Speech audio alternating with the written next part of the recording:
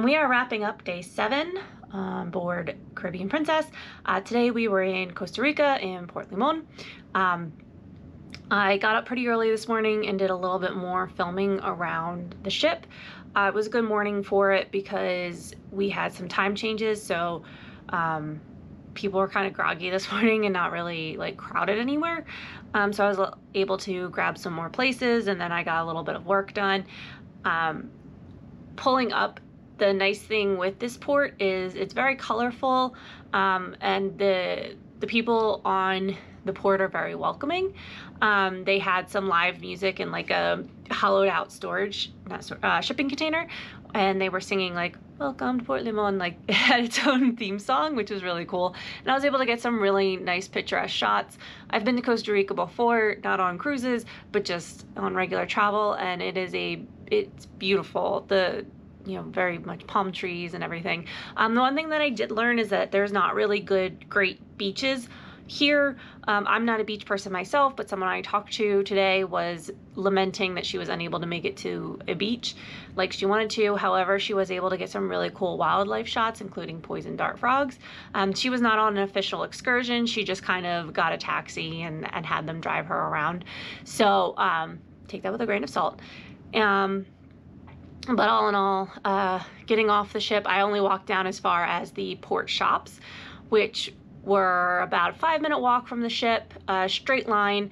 You had to go through kind of the gauntlet of the off, off label um, tours, and it was kind of set up like a flea shop. There were rows and columns of booths and then like around the outside of the flea market like area was like um, massage parlors and things like and pedicures and stuff. So it was a really interesting port because i hadn't really seen the like get a manicure pedicure or get a massage while you're in the port.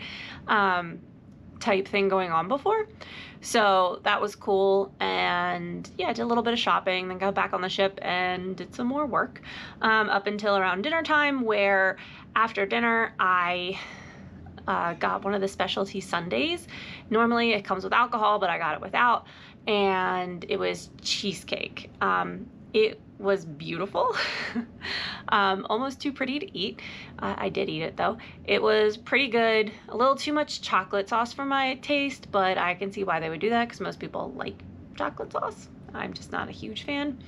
Um, and then after that, I went and I called my family, and then I went to the comedian. I was pleasantly surprised. Normally, and you've heard us talk about this on the channel before, normally comedians are not our favorite entertainment. I actually skipped one earlier in the week where it was a husband and wife duo, but this comedian was legitimately funny. He was a little edgier than I would have expected for it being an older crowd. Um, and I was legitimately laughing and I felt kind of bad because I was sitting next to an older couple.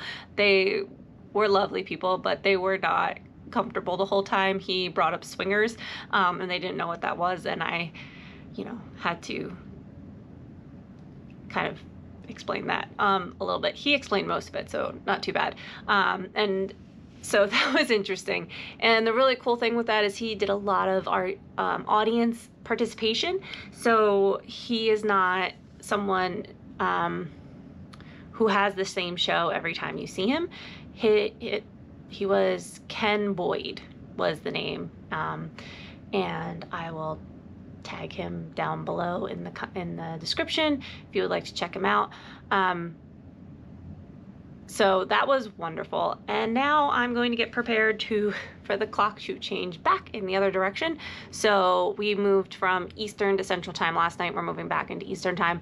I don't know why the ship didn't stay and then just tell you to follow ship time and not local time, but whatever, here we are, two time changes in as many days, and then another one on daylight savings um, this weekend, so that will be fun. But yeah, all in all, you know, pretty chill but fun day. Um, I'm really looking forward. I actually might go see the comedian again tomorrow night. He'll be in one of the lounges, so maybe after the um, production show tomorrow night, I'll go see him. But yeah, stay tuned. All right. Night.